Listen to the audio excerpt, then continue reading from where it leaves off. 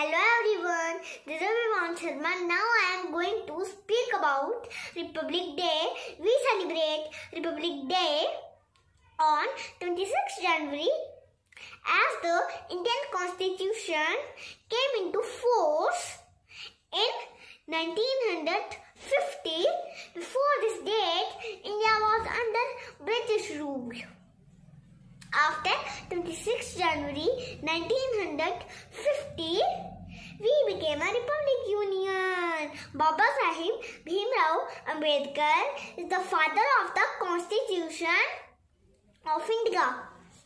I am proud to be a citizen of India. We all have equal rights such as right to equality, freedom, culture, education, should respect our freedom and freedom fighters. And please like my video and subscribe